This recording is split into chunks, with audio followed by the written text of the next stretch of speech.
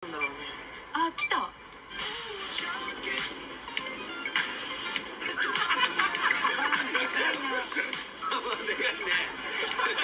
何泊する気なんだ俺の名前は勝山勝次みんなからはかっちゃんと呼ばれてます。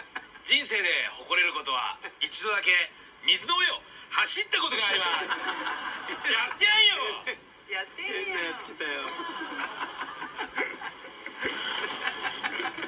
とりあえずプレステと64と XBOX ありとあらゆるゲーム機詰め込んできたから。